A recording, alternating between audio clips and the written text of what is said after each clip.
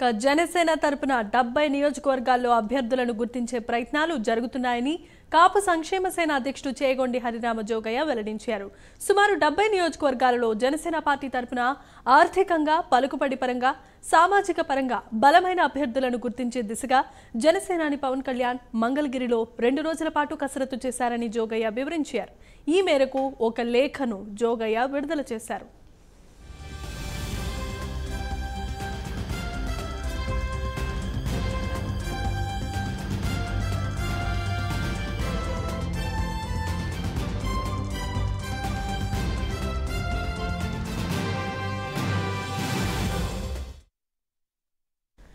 జన సైనికులందరూ ఆశిస్తున్నట్లుగా తెలుగుదేశం జనసేన మధ్య సీట్ల పంపిణీ పదవుల పంపిణీ విషయంలో జనసేన వెనకబడిపోతుందేమో అనే సందేహాన్ని మిగుల్స్తూ ఈ మధ్య కాలంలో కొన్ని దురదృష్టకర సంఘటనలు జరిగిన మాట వాస్తవమేనని జోగయ్య తెలిపారు. అయితే మనం భయపడుతున్నట్లుగా పొత్తు ధర్మంలో భాగంగా మన సంకల్పానికి భిన్నంగా ఉభయుల మధ్య అంగీకారాలు జరిగినట్లుగా వస్తున్న వార్తల్లో నిజం లేదని కూడా జోగయ్య తెలిపారు. చంద్రబాబు పవన్ కళ్యాణ్ మధ్య ఎటువంటి నిర్ణయాలు జరగలేదని చెప్పాలని జోగయ్య తేల్చి చెప్పారు.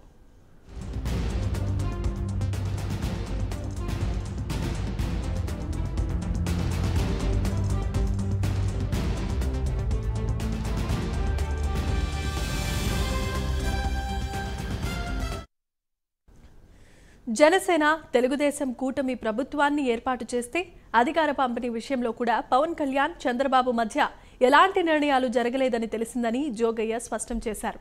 జనసేనాని పవన్ కళ్యాణ్కు గౌరవప్రదమైన హోదాతో పదవి దక్కుతుందని దానికి అవకాశాలు మెండుగా ఉన్నాయని జోగయ్య అన్నారు. ఈ నిర్ణయానికి సంబంధించి పరిస్థితి ఇంకా చేయి దాటలేదని రెండు పార్టీల మధ్య ఓట్లు సజావుగా ట్రాన్స్ఫర్ అయ్యే దిశగానే నిర్ణయాలు జరుగుతాయని జోగయ్య ధీమా వ్యక్తం చేశారు. మనం కోరుకునే నిర్ణయాలు తీసుకునేలా వారిద్దరికీ తగిన సమయం మనమివ్వాలని సహనంతో ఉండాలని జోగయ్య జన సైనికులను కోరారు.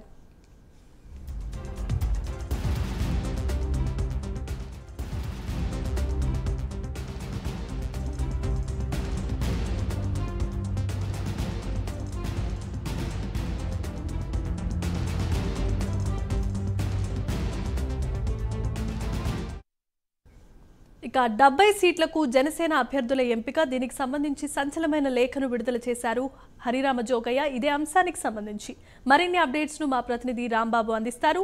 రాంబాబు చెప్పండి. Thank you Jemima. మా కాపు సంక్షేమ సేన అధ్యక్షుడు హరిరామ్ జగయ్య మరో బహిరంగ జనసేన శ్రేణులందరికీ కూడా విజ్ఞప్తి అంటూ కూడా ఒక లేఖను రిలీజ్ చేయడం జరిగింది. జన సైనికులందరూ కూడా ఆశిస్తున్నట్టుగా తెలుగుదేశం జనసేన మధ్య సీట్లు పంపిణీ పదవుల పంపిణీ విషయంలో ఈ జనసేన వెనకబడిపోయిందేమో అన్న సందేహాలు మనలో కలిగాయి. కలిగిన మాట వాస్తవమే. అయితే మనం భయపడినట్టుగా పొత్తు ధర్మంలో భాగంగా ఇంకా మన సంకల్పానికి ఆ, భిన్న ఇరువురు కూడా అంగీకారాలు జరిగినట్టు కూడా వస్తున్నాయి వార్తలు. అదే రకంగా రెండు రోజులుగా జనసేనాని పవన్ కళ్యాణ్ మంగళగిరిలో సుమారు డెబ్బై నియోజకవర్గాల్లో జనసేన పార్టీ తరఫున ఆర్థికంగా పలుకుబడి పరంగా సామాజిక పరంగా అన్ని రకాలుగా బలమైన అభ్యర్థులను గుర్తించే పనిలో ఉన్నట్టుగా వార్తలు వస్తున్నాయి. ఇది చాలా మంచి పరిణామం. అలాగే తెలుగుదేశం జనసేన కూటమి ప్రభుత్వాన్ని ఏర్పాటు చేయదగ్గ పరిస్థితి అదే రకంగా ప- ప్రభుత్వం ఏర్పడిన తర్వాత అధికార పంపిణీ విషయంలో కూడా చంద్రబాబు పవన్ కళ్యాణ్ గారి మధ్య ఇంకా ఒక నిర్ణయాలు ఏం జరగదన్నట్టుగా తెలుస్తుంది.